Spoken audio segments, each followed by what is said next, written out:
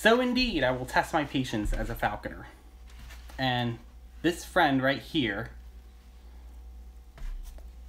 this is my best friend until that happens. Now, um, coaching, mentoring a real red-tailed hawk. Um, it, once I get a red-tailed hawk of my very own, I will be enforcing negative reinforcements a lot. I want to let that hawk know that I'm the boss. Okay? I the hawk does is I the hawk does as I say. Okay, nothing less than that. A lot of people just use positive reinforcements where they just feed the red-tailed hawk their tidbits and then it's happy. And then it always flies to the hand every time. This hand. Okay? But here's the thing.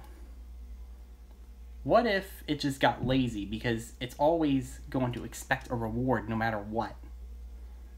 And it just decides, I'm not going to do this today.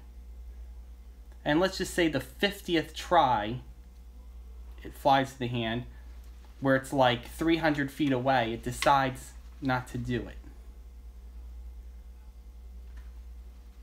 Well, if it takes that many tries, okay, and it's failed me, and it just wants to piss me off, I'm very mad when I'm pissed off, okay? You haven't seen me when I'm pissed off.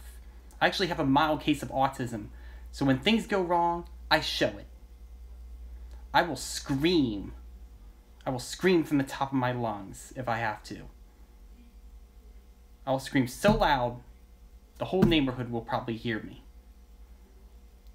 I probably shouldn't do that because probably could hurt the red-tailed hawk's ears. But here's what I would do. I would try to control myself before I start lashing out and lock this troublemaker in the garage. Lights out. No dinner for you tonight. And then after 15 minutes, let it out of the garage and then continue training once again. And then if some point in time he doesn't cooperate, then lock him up in the garage for 15 minutes again. Keep doing this until I get results. Because I want this red-tailed hawk to be the best hunter I can possibly be. Not this red-tailed hawk, but a real red-tailed hawk. Okay? So yeah, so I want to be a good coach. I want to be good mentor. I think I can do those things. I've never coached a person before, but I could sure coach a hawk. I sure can. And let me tell you something. I've got friends out there who really like me. Like, I've got two friends on Facebook. Just two.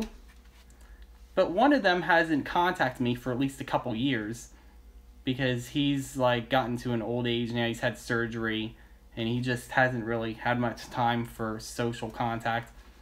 And then another person just mentions they should get into real estate and um, real estate and something else all the time. You know, he, just keeps mentioning this to me. And you know, who needs a human friend anyways? The only friend I need is a red-tailed hawk. We can both be great friends.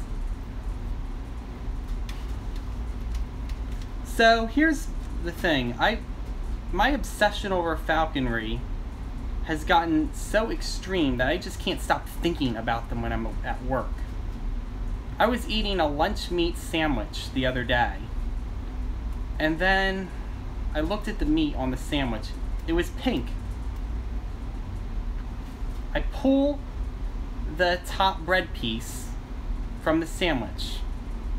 And I just pick the pink stuff out in my hands. And I just, it starts putting thoughts into my mind. It starts reminding me of the tidbits that falconers put out for their hawks when they fly onto the glove.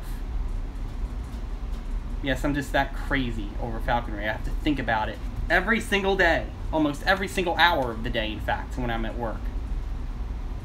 And that's not healthy for me. I shouldn't be thinking about falconry if I'm at work, you see.